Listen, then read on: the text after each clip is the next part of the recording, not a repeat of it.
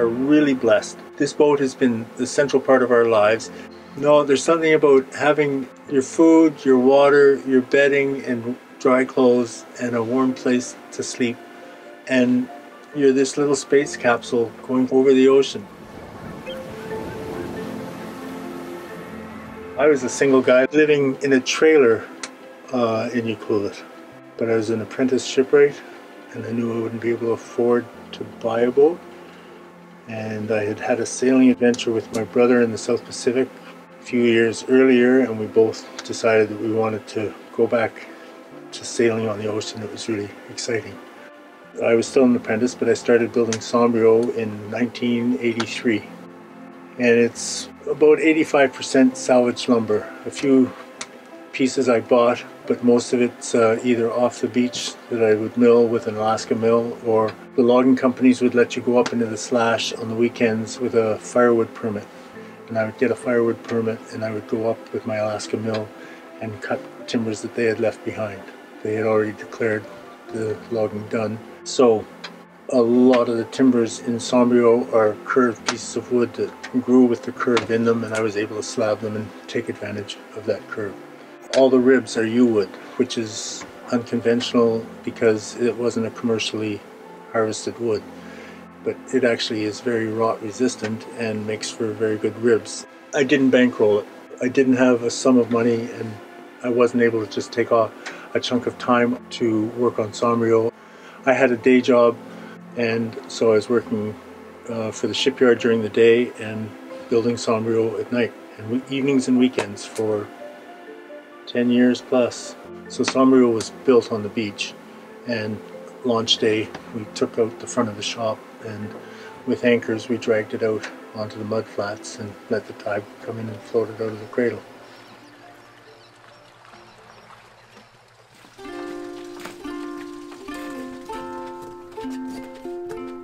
But it took a long time because life got in the way and we lost our dad, we lost two sisters, and I gained a son in the time it took to build the boat. And at the same time, I met Sandi. We were picking away at working on the down below. We rented this place. It got sold. We got evicted. We rented another place. We put in a garden. We said to the guy when we got there, You're not planning to sell this house? Or, oh no. Within 14 months, we came home and found real estate agents wandering around and by then, we worked so hard on these two places, and Kim really wanted to live on the boat, and I was like, what are you even talking about? I can't even imagine it. When we got evicted for the second time, I said, okay, let's talk about this living on the boat thing because I am sick and tired of this. And I, I don't understand how anybody can live on a boat. How on earth do you actually do this? We just really put a lot of effort into just getting the down below ready for us to live aboard. So Robbie could have his bunk in here and, and the galley was all set up and a place for us to sleep. There was still no mast, no engine. We were now just fully living aboard and that's a whole other thing, living Sandi at a marina. said she'd try it for a year. I said one year. Anyway, so seven years later, anyway, it was just a teeny tiny apartment floating on the water. And we finally started a little bit in the summertime. We were actually mobile and we could take the kids. We went all through the Gulf Islands and little, little trips. And uh, yeah, my learning curve was very steep. It was hard when we lived on the boat and we both had full time jobs. That was tough. We realized we couldn't both get up in the morning at the same time and leave yeah. for work. So we figured out a rhythm that worked. Mm-hmm. And and to this day, we still have to rise and go to bed in a different way than we do at home.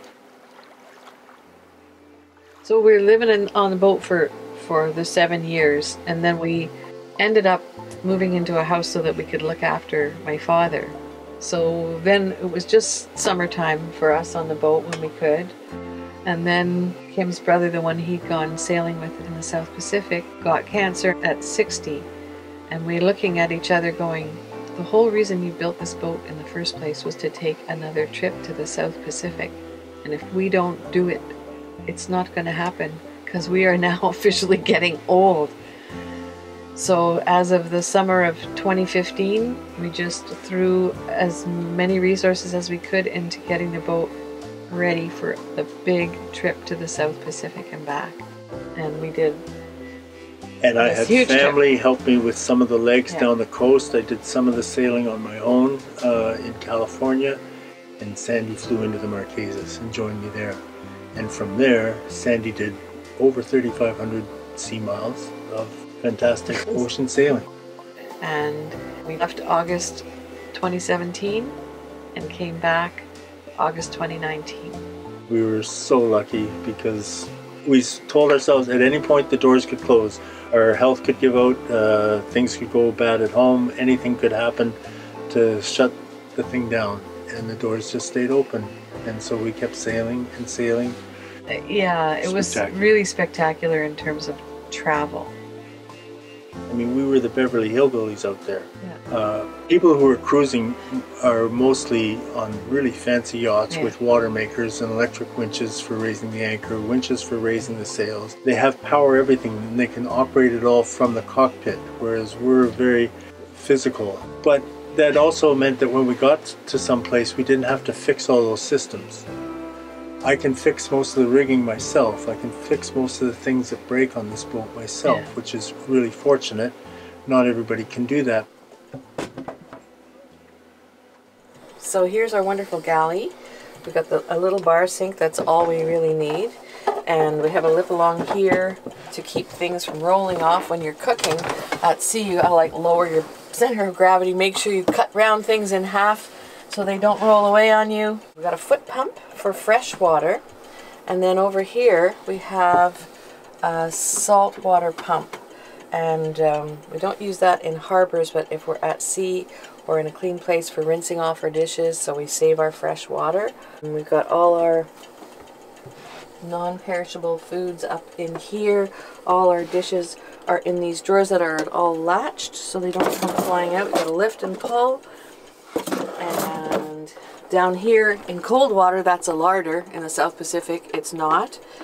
Um, little curtains to keep everything in. There's garbage and buckets and whatnot. And then, of course, the most wonderful wood stove that keeps us warm. Pots and pans are down in here. And uh, so cans are under the seats. All kinds of uh, drink cans and there's water tanks over here.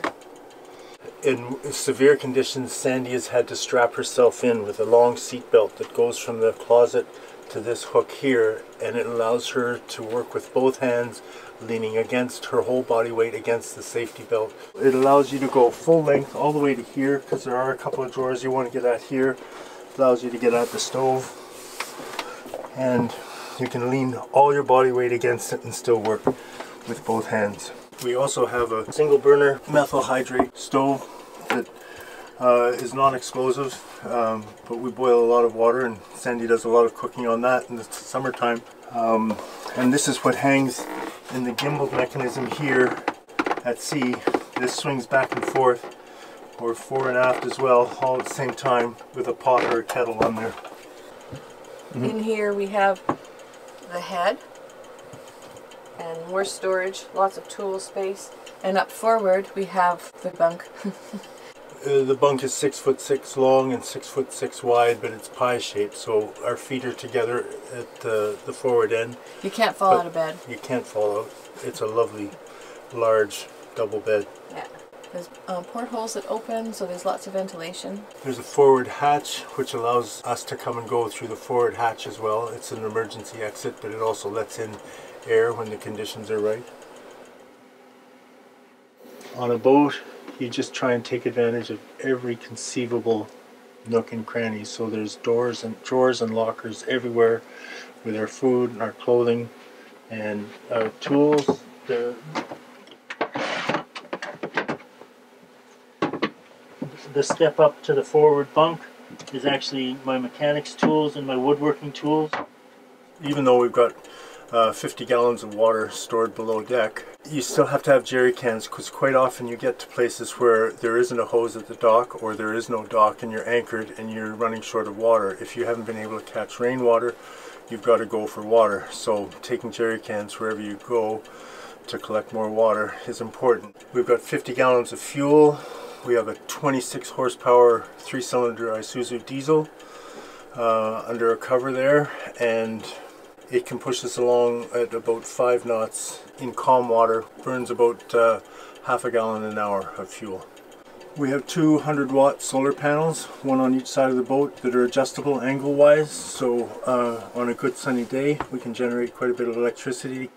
The boat is wired, set up with uh, outlets for both uh, 110 and uh, 12 volts. So we have a 12 volt fridge that runs when the engine is running and we're, or we're getting lots of solar energy. We have uh, shore power where we plug in a heavy wire from the dock to the boat and then there are outlets throughout the boat that allow us to plug in a little space heater to cut down on smoke emission and all that stuff.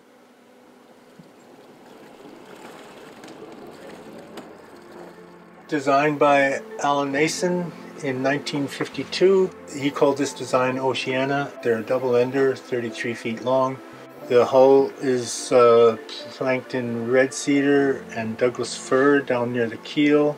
And the building technique is 300 years old called carvel planking. And it's a lovely way to build a boat if you've got the time because all the parts of the boat are replaceable without compromising the integrity of the structure.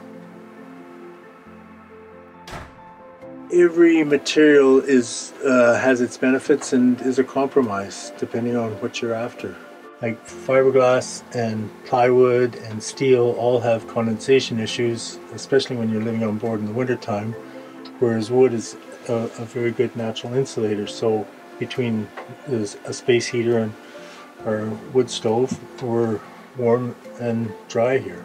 And part of that is thanks to the wood the work that you have to do every year can be overwhelming sometimes. Like we always feel like Sombrio can get ahead of, of us, you know, depending on how our year has been and how much effort we've been able to put into it. But not everything gets painted every year. Most of the varnish and bright work down below is all original. There's been no painting and varnishing. But as soon as you go outside, the sun is just so hard oh, on yeah. everything. It's hard on paint too, but the paint does last much longer this wooden boat has a spirit and a soul and has looked after us and I thank Sombrio every day for the, the safe travel that she's given us. Please share this video if you liked it. Also be sure to subscribe to Exploring Alternatives and check out our playlists for more stories like this. Thanks for watching.